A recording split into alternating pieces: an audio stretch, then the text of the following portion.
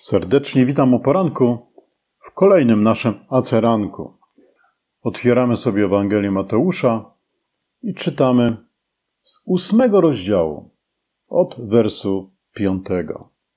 A gdy wszedł do Kafarnaum, przystąpił do niego setnik, prosząc go i mówiąc: Panie, sługa mój leży w domu sparaliżowany i bardzo cierpi. Rzekł mu Jezus: Przyjdę i uzdrowię go.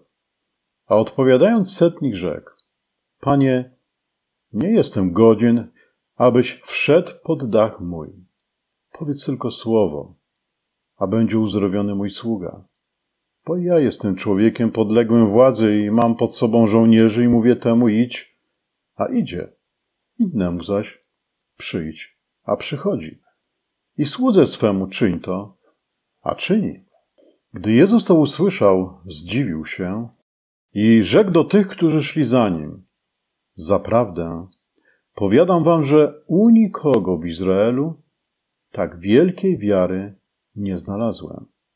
A powiadam wam, że wielu przyjdzie ze wschodu i zachodu i zasiądą do stołu z Abrahamem i z Izaakiem i z Jakubem w Królestwie Niebios.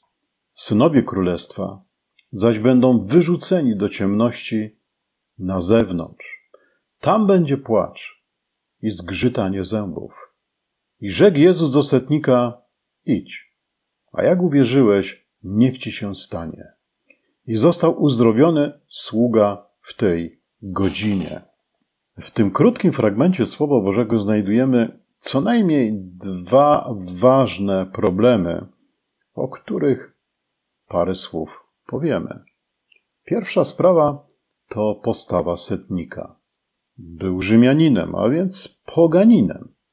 Natomiast jego postawa wskazuje na to, że ten człowiek uwierzył Jezusowi. Nic Biblia nie mówi o tym, żeby był prozelitą.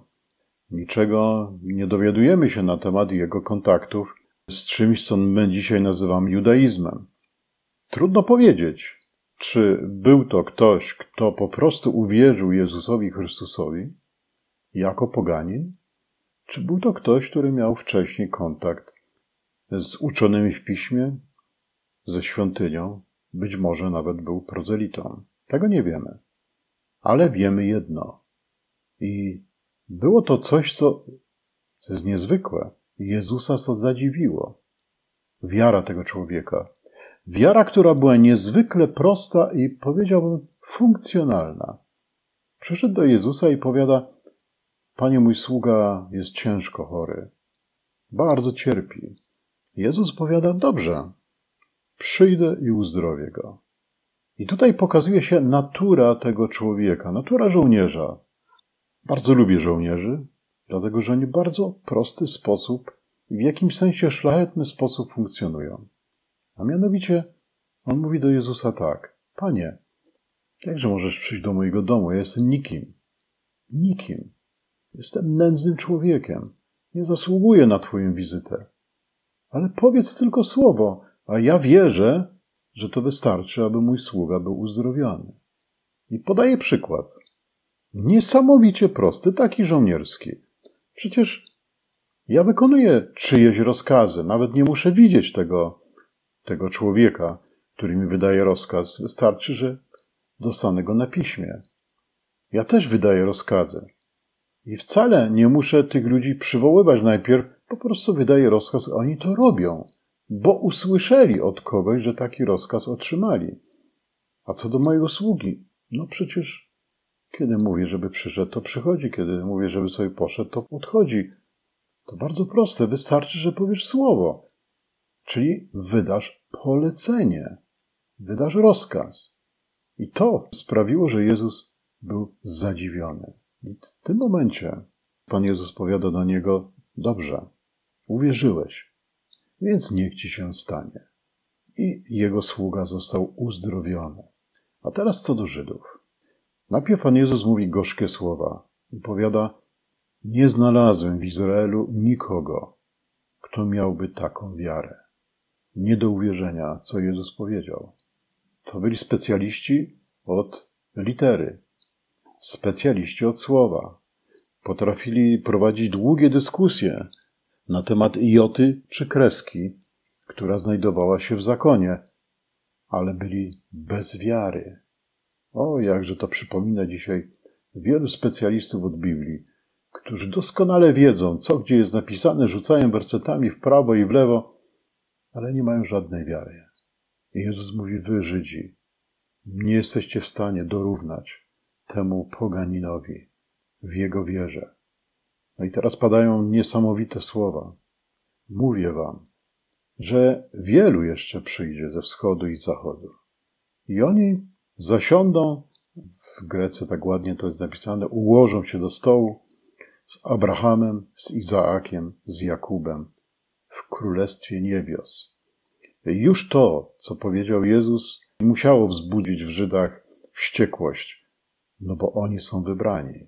Jak, jacy poganie będą z Abrahamem, Izaakiem, Jakubem, idą w Królestwie Niebios. Ale Jezus połątuje i powiada, synowie Królestwa zaś będą wyrzuceni do ciemności na zewnątrz. Tam będzie płacz i zgrzytanie zębów. Teraz jest pytanie, co to za synowie Królestwa, którzy będą wyrzuceni do ciemności? Na podstawie też między innymi tego fragmentu niektórzy twierdzą, że człowiek, który został zbawiony, może też tego zbawienia zostać pozbawiony. No bo w końcu to są synowie królestwa. No stali się tymi synami królestwa, więc widocznie utracili to synostwo. Problem w tym, że ci synowie królestwa byli nimi jedynie z nazewnictwa. Biblia powiada, że wielu jest powołanych, no, to nawet Jezus powiada, ale niewielu jest wybranych. To pierwsza rzecz. Cały naród Izrael został wybrany jako naród. I wszyscy, wszyscy Izraelici zostali powołani. Ale pośród tych powołanych niestety niewielu jest wybranych. Widzimy to na własne oczy i tak się też działo w czasach Jezusa. Tak się też działo przez dwa tysiące lat. Zobaczmy, historia pokazuje nam, że naród przetrwał. Pomimo nienawiści, pomimo prześladowań, pomimo tego, że był przeganiany z miejsca na miejsce, naród przetrwał. Ponieważ Bóg wybrał ten naród i nikt nie jest w stanie zniszczyć tego narodu. Tak Bóg postanowił. Wszyscy, którzy są antysemitami, są po prostu chorzy i oni powinni się duchowo leczyć, bo walczą z Bogiem, a to już jest bardzo niebezpieczne.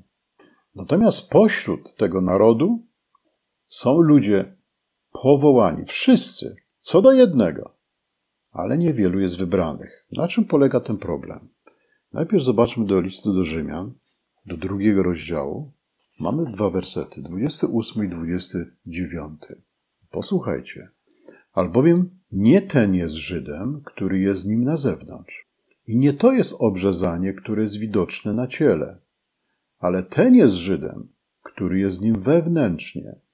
I to jest obrzezanie, które jest obrzezaniem serca, w duchu, a nie według litery. Taki ma chwałę nie u ludzi, lecz u Boga.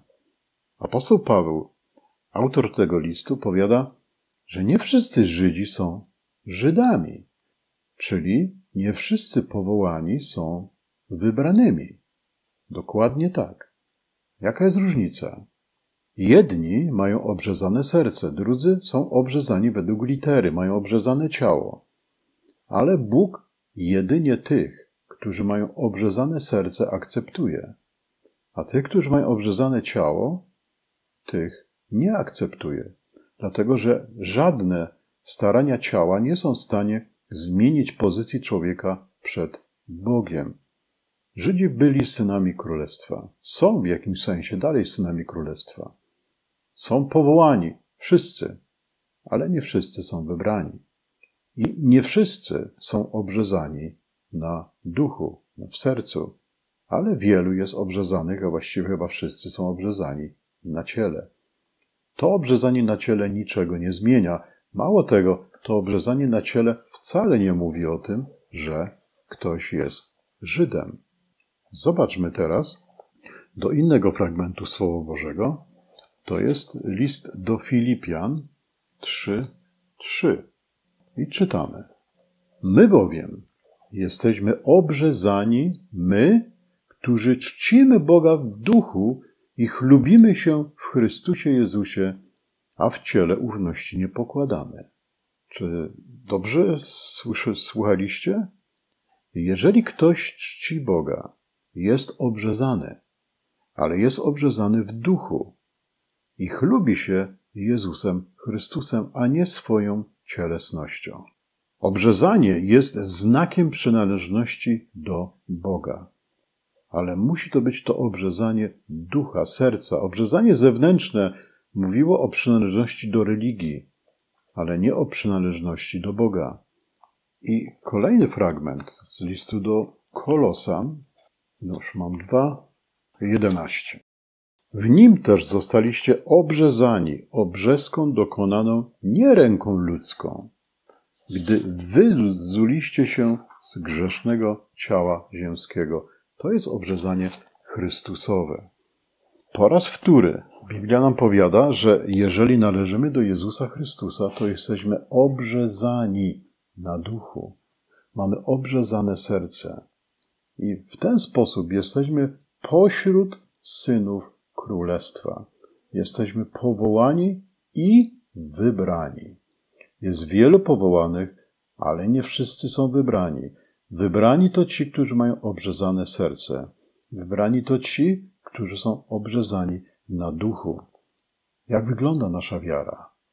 Jeżeli jest to wiara człowieka, który ma obrzezane serce, to jest ona żywa. Jest ona autentycznie żywa. Skoro funkcjonujemy w żywej wierze, to służymy swojemu Bogu z uniżeniem i z radością. Jeżeli nie jesteśmy obrzezani na duchu, to wykonujemy religię.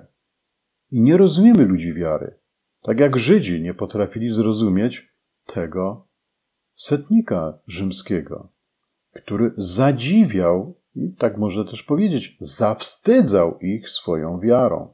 Oni tej wiary nie mieli, nie posiadali, nie dysponowali tą wiarą, chociaż dysponowali literą. Obyście nie popełnili w swoim życiu błędu, nie doprowadzili do sytuacji, w której, owszem, chętnie będziecie służyli literze, ale będziecie ludźmi bez wiary. Niech nas Bóg błogosławi. Amen. Witam w Aceranku, a wszystko po to, aby zachęcić Was, żebyście w ramach chrześcijańskiej wspólnoty ewangelicznej przyjrzeli się też innym podcastom. Tam naprawdę można znaleźć fantastyczne treści i posłuchać naprawdę dobrych kaznodziejów. Droga uczniostwa, lajkujcie, subskrybujcie, komentujcie, niech się rozchodzi.